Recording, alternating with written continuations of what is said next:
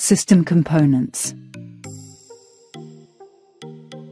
The main components of the display unit for EC 8100 8600 are control unit, controls and process for the ECDIS system, serial interface unit, receives information from GPS, gyro, speed log, AIS, etc.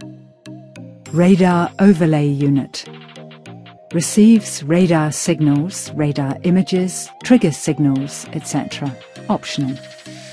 Operation unit operates the ECDIS via operation panel. Display unit 19-inch LCD or 26-inch wide LCD for EC 8100, 8600, 19-inch LCD or 23-inch LCD for EC 8000, 8500. Note, for EC 8000, 8500, there is no radar overlay unit included.